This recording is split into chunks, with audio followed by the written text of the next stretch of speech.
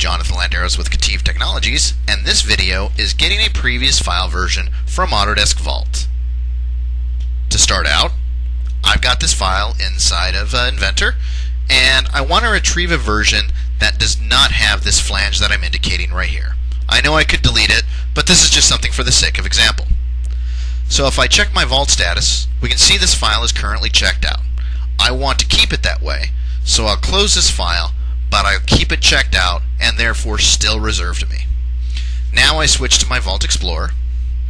We can confirm right here the file still checked out to me, and down in the history window, I choose the version that I want to restore, right click on it, and choose Get Checkout.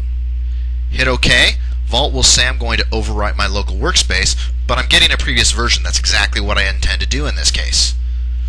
I'll say yes. And now I can switch back to Inventor, choose File and Open, select the file, and already I can see that the thumbnail shows me this is an old version. And just like that, I've now retrieved the old version. Now I still need to make the old version the new version, so I'm going to switch to my vault status, and here's where I could refresh and bring back the current version, or I can check in, at which point the version I've got on screen supersedes the previous uh, file that I had open at the beginning of the video. And now it my new current version. Files checking in.